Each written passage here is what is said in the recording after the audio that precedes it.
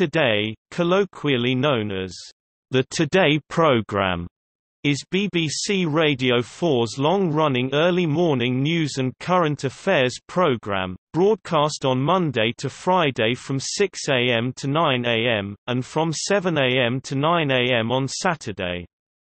It is the highest-rated programme on Radio 4, and one of the BBC's most popular programmes across its radio networks consisting of in-depth political interviews and reports interspersed with regular news bulletins, as well as Thought for the Day, it has been voted the most influential news programme in Britain in setting the political agenda, with an average weekly listening audience around 7 million.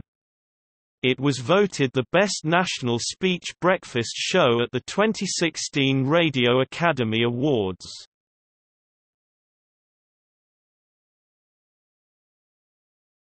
Topic: History.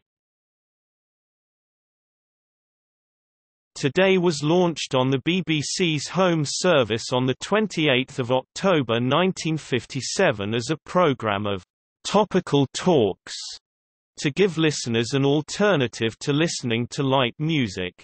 The programme's founders were Isa Benzie and Janet Quigley. Benzie gave the program its name, and served as its first de facto editor. It was initially broadcast as two 20-minute editions slotted in around the existing news bulletins and religious and musical items. It became part of the BBC's Current Affairs department in 1963, and started to become more news-orientated. The two editions also became longer, and by the end of the 1960s it had become a single program two hours in length that enveloped the news bulletins and the religious talk that had become thought for the day in 1970. In May 1977, Radio 4 controller Ian McIntyre cut it to two 25-minute parts, filling the gap with up to the hour. The new format was unpopular with BBC staff, including Peter Donaldson who on at least one occasion openly ridiculed the programme on air. It also provoked comments in the diary columns of the daily newspapers. From July 1978, Today returned to its previous length and up to the hour was dropped. Jack de Manio became its principal presenter in 1958. He was held in affection by listeners, but became notorious for on-air gaffes announcing a documentary on Nigeria titled The Land of Niger as The Land of Nigger, and referring to Yoko Ono as Yoko Hama, or whatever her name is. For instance, in 1970 the program format was changed so that there were two presenters each day. De Manio left in 1971, and in the late 1970s the team of John Timpson and Brian Redhead became established. Timpson had been critical of the content, style and professionalism of Today, describing it once as, "...not so much a program, more a way of telling the time," and being filled with eccentric octogenarians, prize pumpkins, and folk who ate lightbulbs and spiders. In the late 1970s and early 1980s, under editors Ken Gowdy and Julian Holland, Today made moves to broaden its appeal away from broadcasting a lot of national politics with London-centric bias.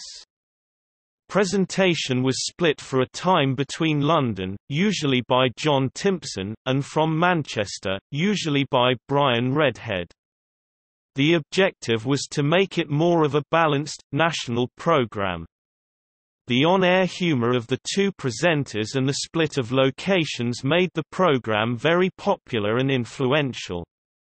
Brian Redhead was quoted, if you want to drop a word in the ear of the nation, then this is the program in which to do it. This pairing lasted until Timpson's retirement in 1986. Other presenters during this period included Libby Purves in the late 1970s. John Humphrys and Sue McGregor joined the rotating list of presenters in 1986. Peter Hobday who had first broadcast on the program in the 1950s was a regular presenter from the early 80s and a favorite with listeners because of his relaxed, urbane style. By this time the program was benefiting from publicity gained after it became known that Prime Minister Margaret Thatcher was a regular listener. Ministers thus became keen to go on the program, but the tough, confrontational interviewing they encountered led to accusations that the BBC was biased. Criticism was particularly directed against Redhead, who was often seen as being on the left. Chancellor Nigel Lawson accused him of having been a Labour voter all his life during a live interview, in 1988. The style of the male interviewers was analyzed and contrasted with the approach of McGregor, who was alleged to be giving subjects an easier time. The Big Eight 10 Feet interview that follows the 8 o'clock news had become an important institution of British politics, a position it retains. After Brian Redhead died in January 1994, James Naughtie became a member of the team. Peter Hobday presented the program regularly until 1996. Sarah Montague replaced McGregor in 2002.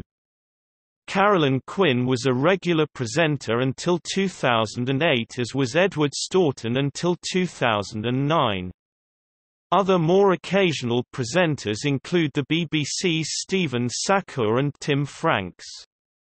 Evan Davis and Justin Webb were the newest regular presenters to join the roster until Mishal Husain in 2013. Husain became the second regular female presenter when James Naughtie began to cover the Scottish independence referendum as a Good Morning Scotland presenter for two days a week, and across the BBC's output. Naughtie returned to Today before the 2015 general election. On 7 July 2015, the BBC announced that James Naughtie was to leave the programme, to become a special correspondent for BBC Radio 4. Two days later, Nick Robinson was announced as Naughtie's replacement. In April 2018, Martha Kearney joined the team in a straight swap with Sarah Montague, who left to take over Kearney's old role as lead presenter of The World at One.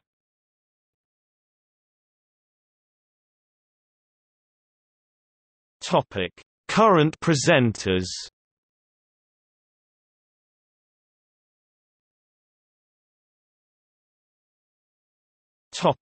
Former presenters.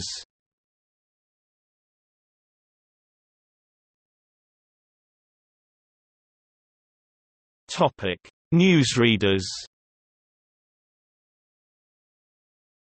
Chris Aldridge, Corrie Corfield, Caroline Nichols, Neil Sleat, Zeb Soanes, Diana Speed, Kathy Clugston, Susan Ray, Charles Carroll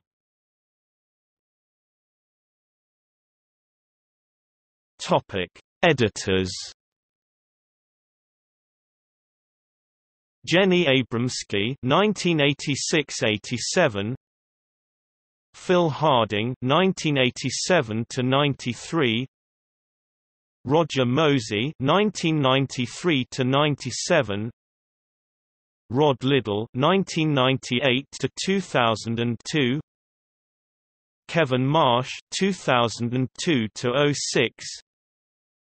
Kerry Thomas 2006 to 12 Sarah Sands 2017 present. Topic. Guest editors. Beginning in 2003, for over one week at the end of December, guest editors have been invited to commission items for one edition of the program.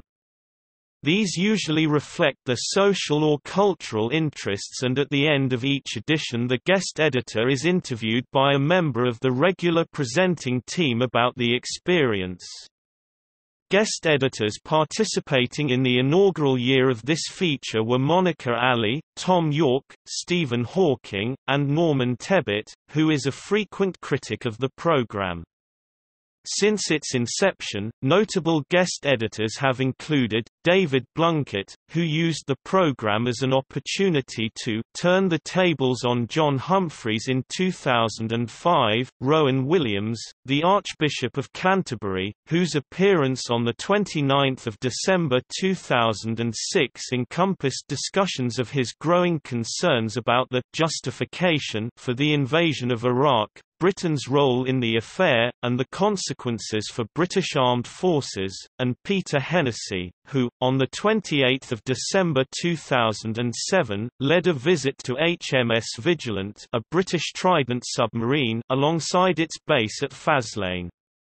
The likes of Queen Noor of Jordan 2005, Bono 2004, and Sarah, Duchess of York 2004, have also pitched in for this one-day editorial stint to promote their causes and interests.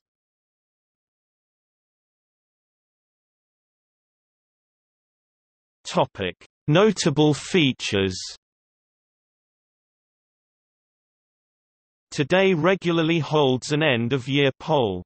For many years this took the form of write-in votes for the Man and Woman of the Year. This was stopped after an episode of organized vote rigging in 1990, but was soon revived as a telephone vote for a single personality of the year. A further episode of vote rigging, in favor of Tony Blair in 1996, forced the program makers to consider more innovative polling questions.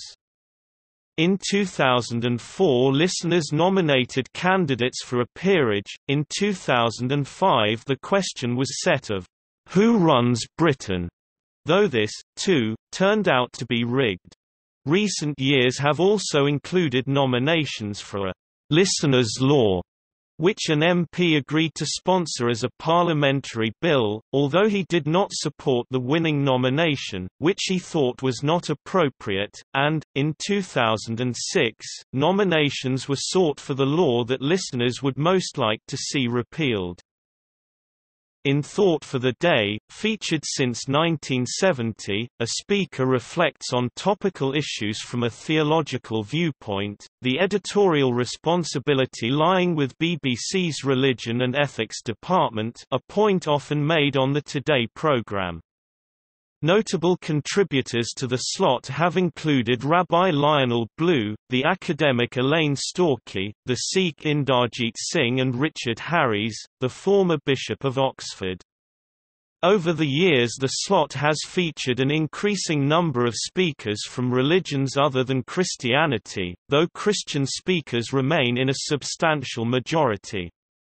In August 2002 University of Oxford professor Richard Dawkins gave a non-religious humanist thought for the day, however, this did not replace the regular thought and was broadcast an hour later as an alternative thought. In 1983 the long-running, "'Prayer for the Day' which had always gone on air at 6.50 am, was moved to 6.25 am and replaced by a Business News slot. It was later moved, out of Today against protest from listeners, to 5.43 am where it is still received by an appreciative audience. The program has a regular slot for sports news and items, Sports Desk, between 26 and 30 minutes past each hour, regularly presented by Gary Richardson, Jonathan Legard or Rob Bonnet and occasionally by Alison Mitchell, Karti Gnanasegaram or Chris Dennis. If Parliament is in session the previous day there will be a summary at about 6.50 Yesterday in Parliament presented by two from Robert Orchard, David Wilby, Rachel Hooper and Susan Hulme. Journalist and historian Peter Hennessy has made an assertion, in one of his books, that a test that the commander of a British nuclear missile submarine must use to determine whether the UK has been the target of a nuclear attack in in which case he has sealed orders which may authorize him to fire his nuclear missiles in retaliation, is to listen for the presence of today on Radio 4's frequencies. If a certain number of days said to be three pass without the program being broadcast, that is to be taken as evidence that the orders must be executed. The true conditions are of course secret, and Hennessy has never revealed his sources for this story, leading Paul Donovan, author of a book about today, to express some skepticism about it.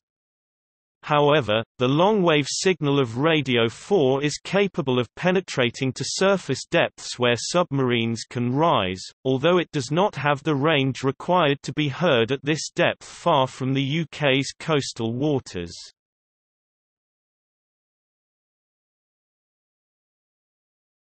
Topic: Message boards.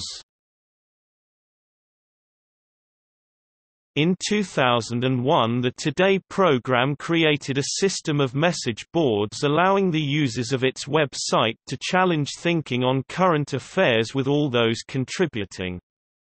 Available statistics indicate the amassing, over five years, of up to 18,000 separate discussions, topic threads, sometimes with as many as 3,000 contributions per thread.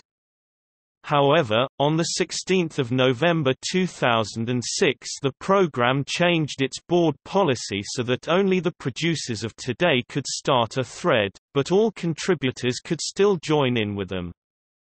This action appeared to have been unattractive to past contributors and, it seems, many stopped dealing with Today in favor of other outlets. After the changes there were fewer contributions, but, on occasion, contributions made by the public were featured on air in the Today program. Message boards dedicated to the Today program were discontinued around mid-2008 and listeners were invited to use the general BBC Have Your Say board.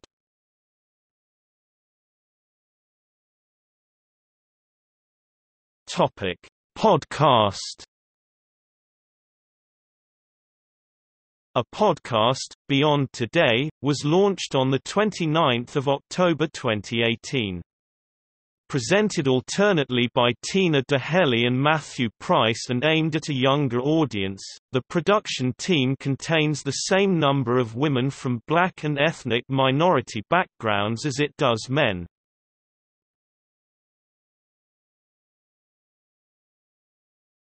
Topic: Controversy Today found itself in the midst of controversy again in 2002, when its editor Rod Liddle wrote a column in The Guardian that was extremely critical of the Countryside Alliance and which raised questions about his own impartiality. In the article, he wrote that catching a glimpse of the forces supporting the Countryside Alliance, the public schools that laid on coaches, the fusty, belch-filled dining rooms of the London clubs that opened their doors, for the first time, to the protesters, the Prince of Wales and, of course, Camilla, and suddenly, rather gloriously, it might be that you remember why you voted Labour once again. He resigned from his post on Today. In the summer of 2003, Today once again found itself at the centre of allegations of political bias, this time against a Labour government.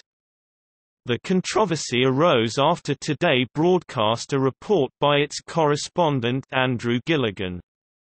The report alleged that a dossier the British government had produced to convince the British public of the need to invade Iraq was deliberately exaggerated, and that the government had known this prior to publishing it.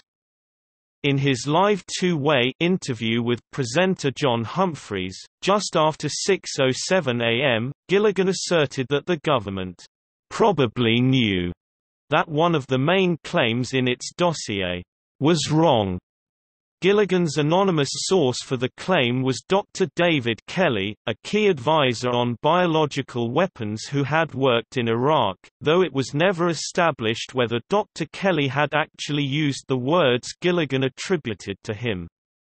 In the furore that followed Gilligan's report, David Kelly's name became public and he was forced to appear before the Foreign Affairs Select Committee. Shortly afterward he was found dead having presumably committed suicide.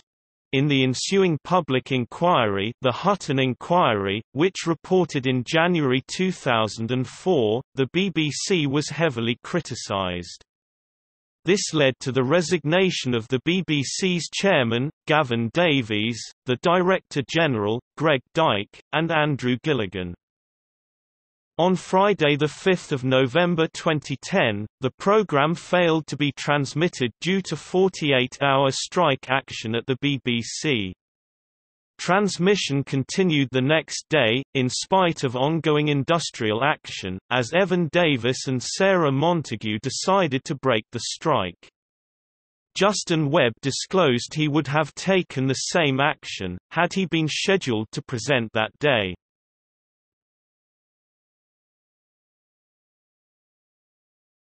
Topic: Criticism.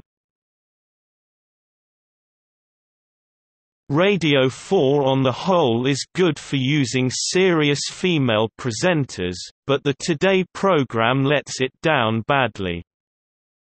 Commented former Today newsreader Alice Arnold early in 2013, pointing out that Sarah Montague was, then, the only female presenter among the regular presenters.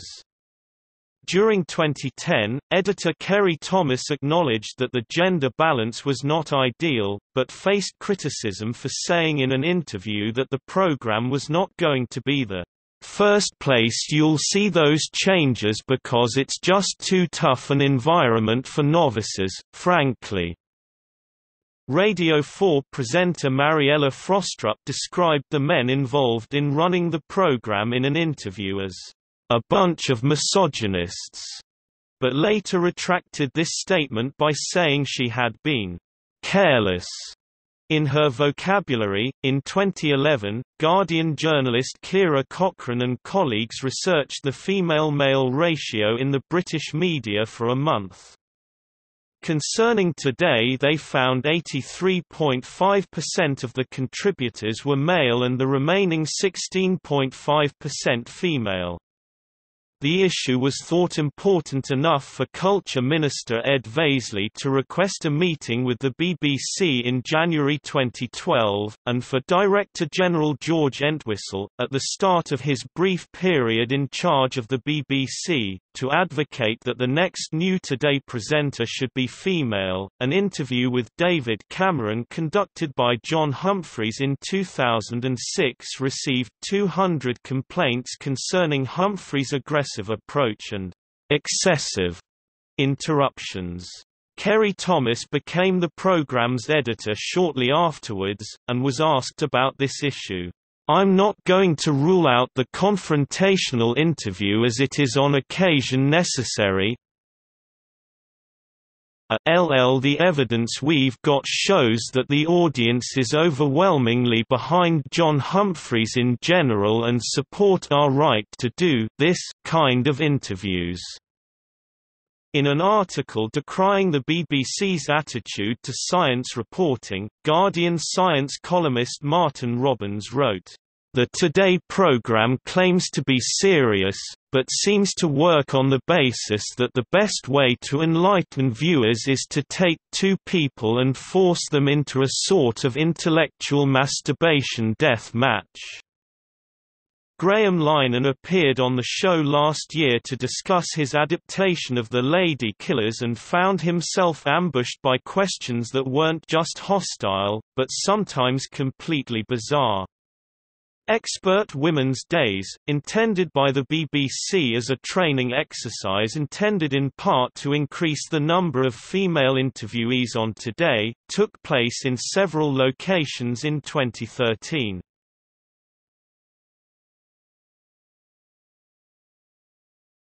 Topic. See also Greatest Painting in Britain Vote, a Today Listener poll in 2005 PM, Radio 4's early evening stablemate to the Today programme. The World at 1, Radio 4's afternoon stablemate to the Today programme. The World Tonight, Radio 4's late evening stablemate to the Today programme Roundabout East Anglia, BBC East's regional opt-out from the Today programme in the 1970s Morning Southwest, BBC South West's regional opt-out from the Today programme in the 1970s and early 1980s